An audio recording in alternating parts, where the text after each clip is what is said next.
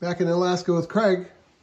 So my wife Gia is going to do a vase tonight with some uh, epoxy colors on it.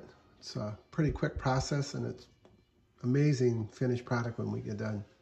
So I don't know what colors she's using, but um, you can see the vase turning slowly. And she's putting the epoxy on there.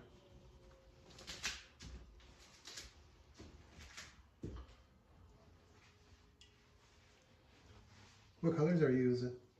Um, pale blue, like a sky blue, um, magenta, and a green.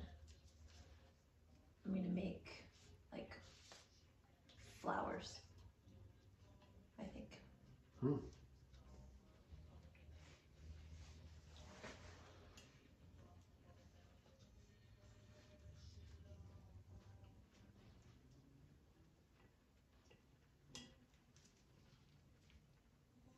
Idea is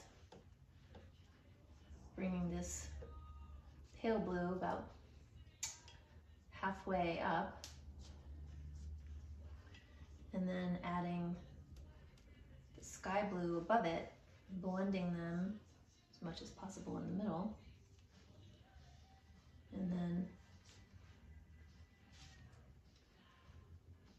waiting until the epoxy is really sticky and making flowers with it.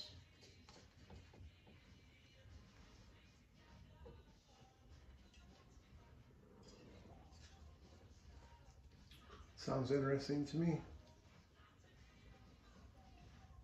We'll see. It's an experiment.